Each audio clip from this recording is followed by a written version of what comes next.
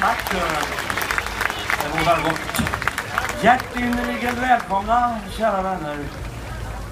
Och äntligen i Örebro på denna fantastiska plats. Visst är det vackert? Ja, underbart. Det har varit en trevlig sommar. Vi har varit ute och, och rockat lite lagomt. Häromveckan så hade vi nöjet att ha Lasse Stes Stefansson förband. Och idag Erik Sade. Vad mer kan man begära? Jo, att vi sträcker lite på stämbanden. Välkomna älskade vänner!